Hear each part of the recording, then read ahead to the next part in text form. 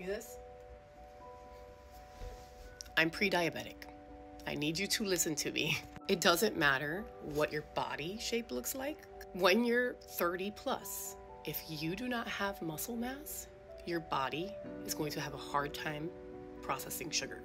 Alright, so this is what happens to your muscle after age 30. It's all downhill from here. Now this is a huge problem because muscle is responsible for insulin sensitivity and skeletal muscle as your biggest organ of the body is responsible for 80% of metabolism of glucose. The whole pathophysiology of diabetes is insulin resistance. Now, when you exercise and you use that muscle, you actually make your body more sensitive to insulin. This is exactly the mechanism by which exercise reverses prediabetes and even early stages of diabetes. Remember this graph? This is muscle mass for exercisers and the rest of America. Notice exercisers never reached the disability threshold,